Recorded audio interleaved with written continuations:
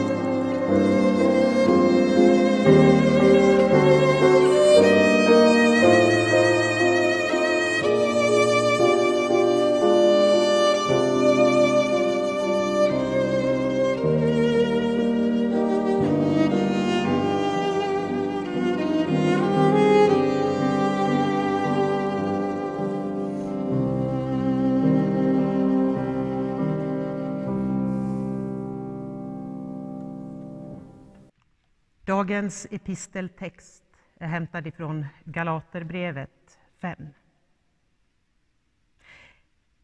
Ni är ju kallade till frihet, bröder. Låt bara inte den friheten ge köttet något tillfälle, utan tjäna varandra i kärlek. Hela lagen sammanfattas i detta enda bud. Du ska älska din nästa som dig själv. Men om ni biter och sliter i varandra är det fara värt att ni gör slut på varandra. Nej, säger jag. Låt er ande leda er, så ger ni aldrig efter för köttets begär. Köttet är fiende till anden och anden till köttet. De två ligger i strid så att ni inte kan göra det ni vill. Men om Anden får styra er står ni inte längre under lagen.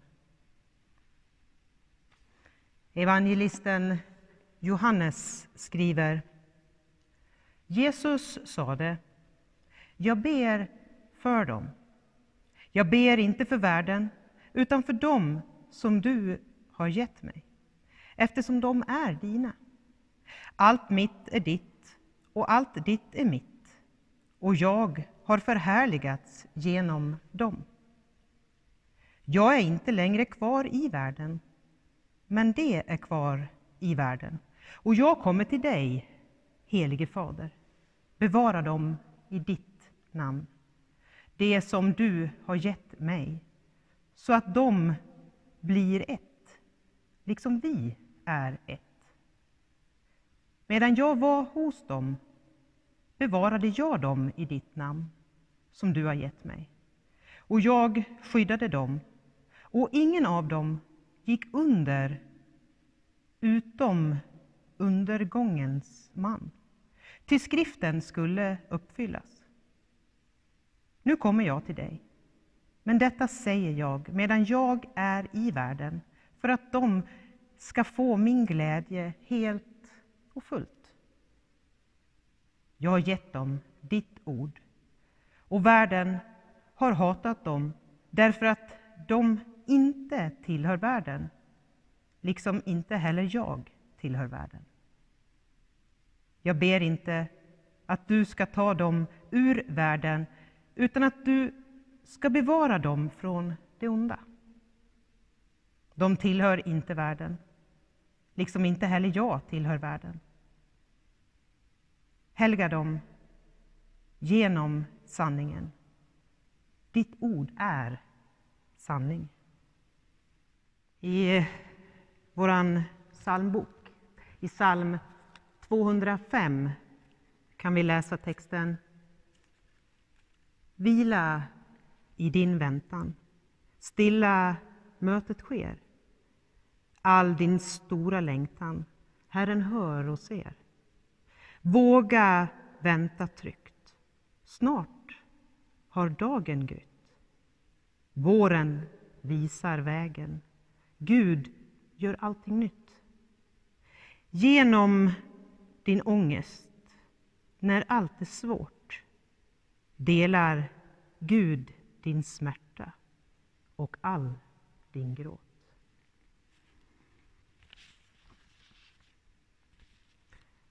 Över hela världen har människor haft och kommer att ha det mycket svårt. Corona har satt människor i karantän, men även många drömmar och mycket hopp.